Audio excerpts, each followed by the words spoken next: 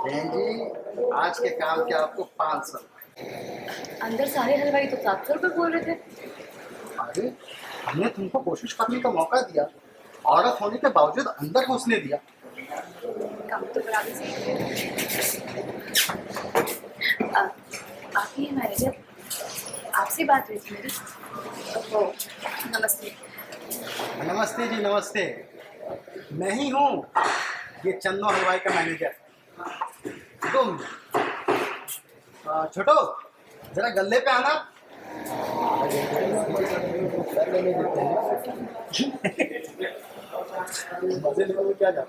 आपने इस काम को कहीं रोटी बेलने वाला काम तो समझा नहीं है ना? आसान काम नहीं है ये?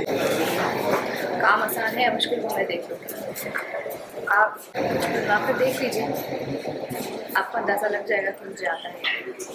अच्छा करके दिखाएँगे आप?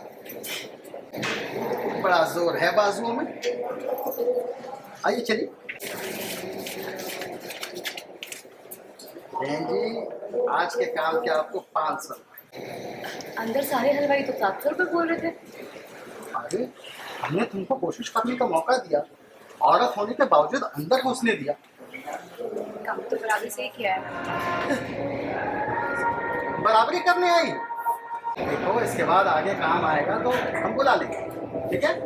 और अभी आपका था टेस्ट और गनीमत समझो कि पैसे मिल गए।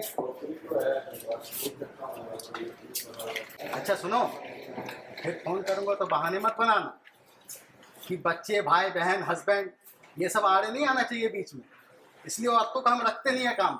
नहीं नहीं, मैं ज़रूर आऊँगी और पूरी मेहनत से काम करूँगी, पर पैसे मुझे बराबरी के देने होंगे आप? हाँ ठीक है ठीक है। तो मैं आज से अपनी नौकरी पक्की समझूं?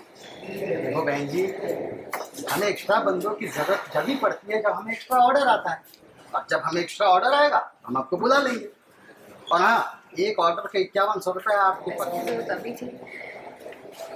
मैडम जी अभी त्योहारों और शादी ब्याह का सीज़न है तो कुछ न कुछ अचानक से आ ही जाता है।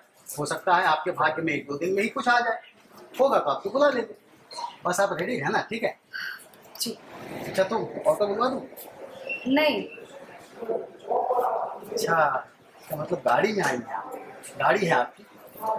मैं पैदल चली जाऊँगी आपने तो कहा था कि आपका घर बहुत दूर है। यहाँ से कैसे जाओगे पैदल?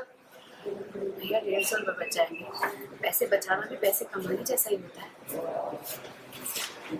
हाँ। नमस्ते जी नमस्ते।